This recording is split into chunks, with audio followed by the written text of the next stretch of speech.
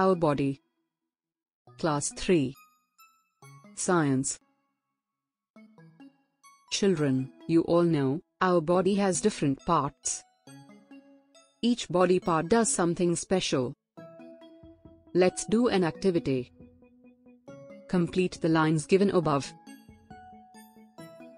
I breathe in air with my nose. I need dash to walk. Legs. The dash help me to bite and chew food. Teeth. Let us learn more about our body. Our body is made up of many small parts called cells. Cells are the building blocks of the body. Cells are the smallest part of our body. A tissue is made up of many similar cells. An organ is made up of different tissues.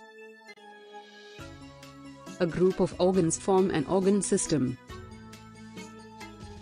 An organism or a living being is made up of different organ systems. An organ system has many organs that work together to perform one action. Skeletal system The bones in our body make up the skeletal system. This system gives shape and form to our body.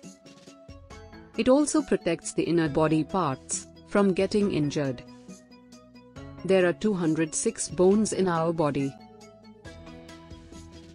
The different bones in skeletal system are skull, ribs, backbone, and joints. Muscular system All our muscles together form the muscular system. Muscles help us to move the different parts of our body. There are more than 600 muscles in our body. Face muscles move to make us smile, frown, talk, etc. Arm muscles shorten and lengthen to move the arm up and down. Leg muscles shorten and lengthen to move our legs. Digestive system The food that we eat get digested inside our body. The process of changing food into substances that our body can use is called digestion. The organs that help us do this form our digestive system. We take in food through our mouth. Food passes down the food pipe. Stomach is the organ where the food gets mixed thoroughly. The intestines take in or absorb what is needed from the food. And, the undigested food is thrown out through the anus.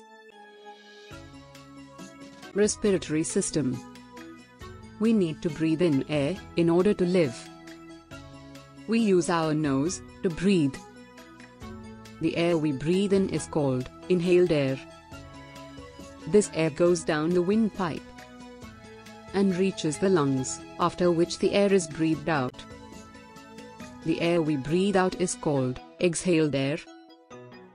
The nose, the windpipe, and the lungs together form our respiratory system. Nervous system The brain, the spinal cord, and the nerves make up our nervous system.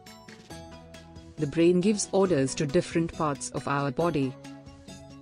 It has nerves that take these orders to muscles, bones, and other body parts. The spinal cord connects all nerves of the body to the brain. Circulatory system Just as a car cannot walk without its engine, our body cannot work without the heart. Our heart pumps blood to all organs of the body. This blood is carried by blood vessels, thin tubes through which blood flows to all parts of our body. The heart, the blood, and the blood vessels make up our circulatory system. Excretory system and reproductive system.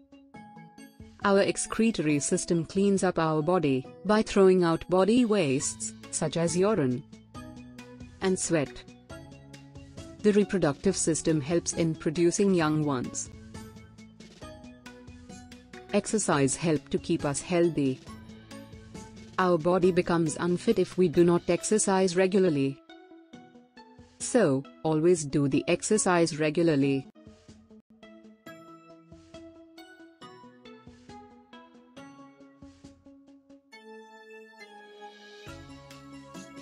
Thank you for watching.